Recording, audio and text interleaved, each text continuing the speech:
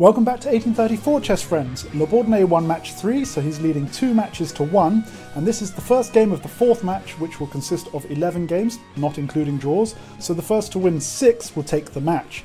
We have a new guest commentator. He's late to the battle because he needed to finish his game of bowls first. It is, of course, English hero Sir Francis Drake.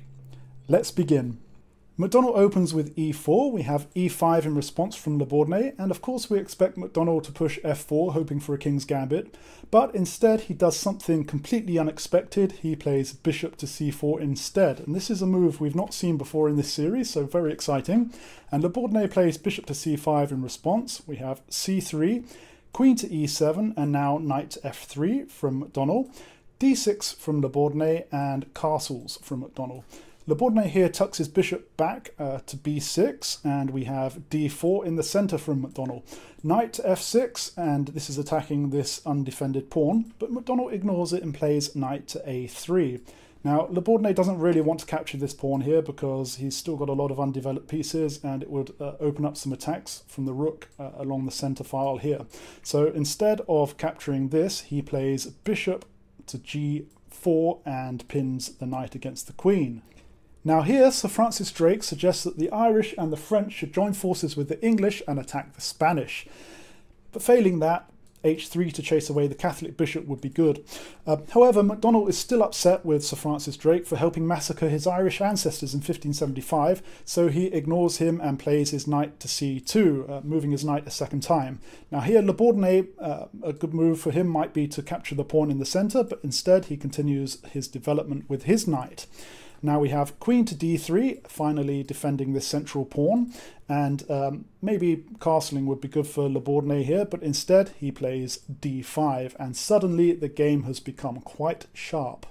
McDonnell captures the d pawn with his e pawn, and here La Bourdonnais is going to have to be very careful not to lose his queen, because if, for example, he captures with the pawn, simply rook to e1 will pin the queen against the king, and there's not really anything that La Bourdonnais can do about it. He'll just lose his queen. So what does he play instead of this uh, pawn capture move? Well, he advances it to e4, defended by the knight. It, it forks the white knight and the white queen. So McDonnell needs to save his queen. He retreats to d2 and gives up a whole knight. So McDonnell has given up a whole knight, but he still has the threat against the queen when he plays rook to e1. In fact, Sir Francis says that McDonnell still has the advantage here, actually, despite being the whole knight down. So La Bourdonnais blocks the attack by advancing his knight, which also threatens the white queen, so the white queen moves up to f4. And yes, the game is getting a little bit wild here. This attacks the knight and the bishop, so La Bourdonnais defends by advancing his f-pawn. This is defended by the bishop, but the pawn also defends the bishop and the knight back. McDonnell captures the pawn on f3 here, which forks these two pieces again. But La Bourdonnais kind of ignores this attack and attacks the queen with his g-pawn.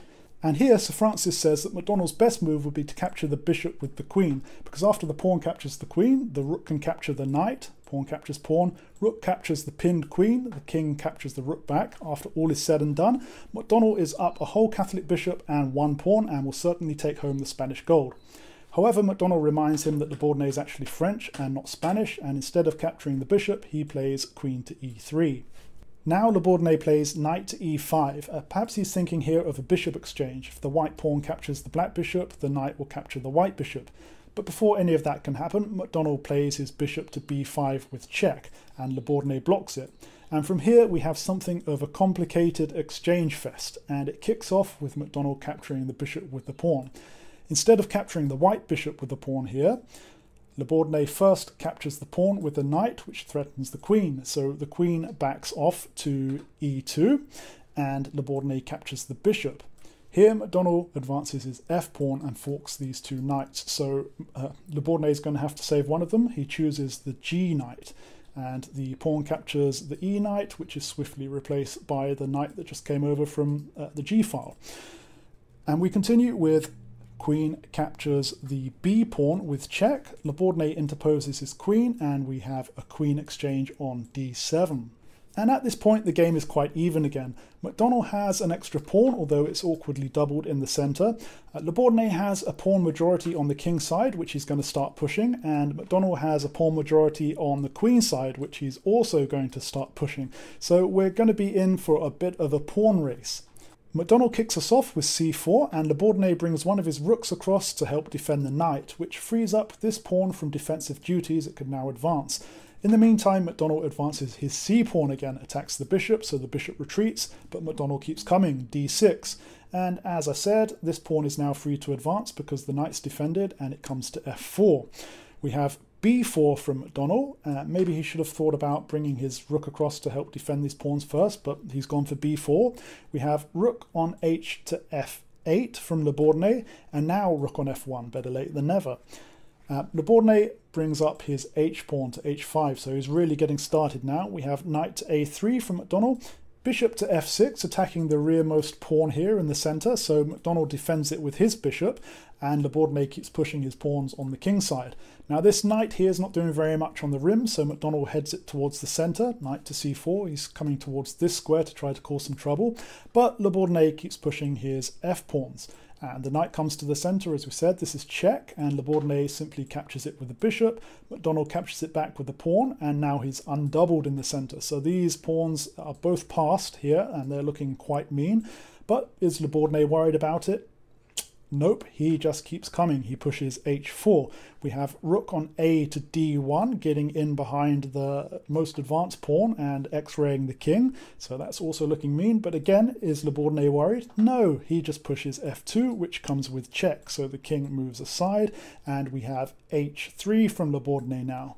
McDonnell plays his rook to d3, hoping to slow the pawns down from the side, and Sir Francis says that maybe the French should send in some fire ships to f4 and f8 and really pile upon the pressure on the Spanish king's armada.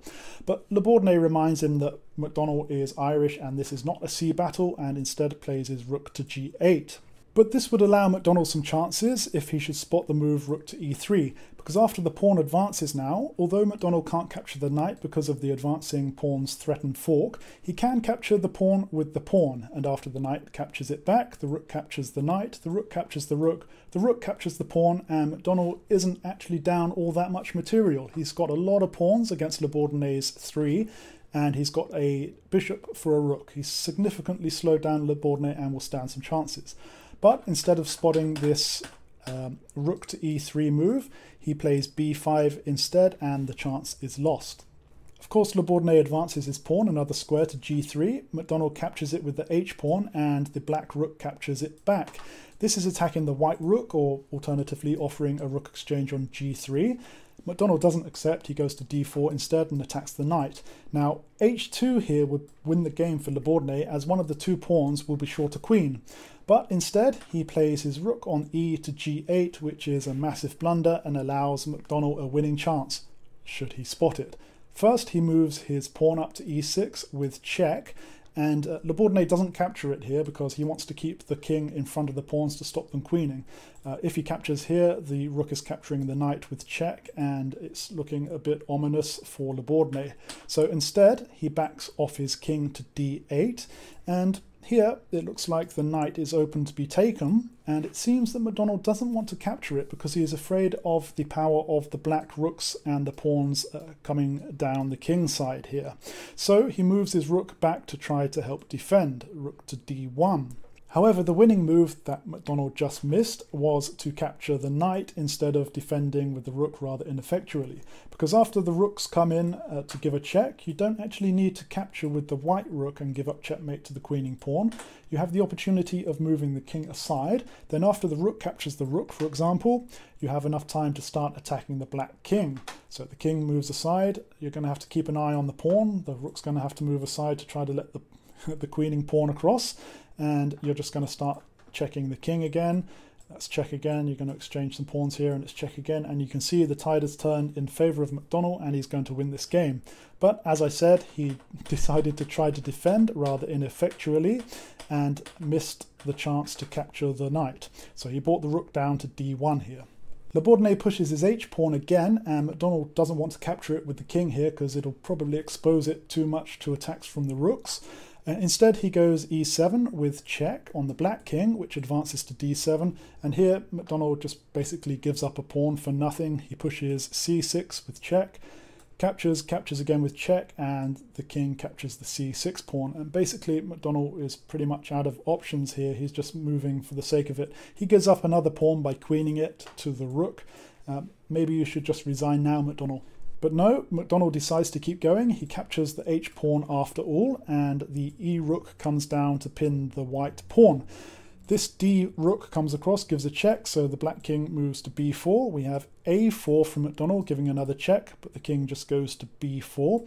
We have bishop to c3 from McDonnell, and the rook captures the bishop, a little bit of a capture fest here. We have the rook captures the rook, and the king captures the rook. McDonnell pushes his pawn to d7, but it's obviously far too little, far too late.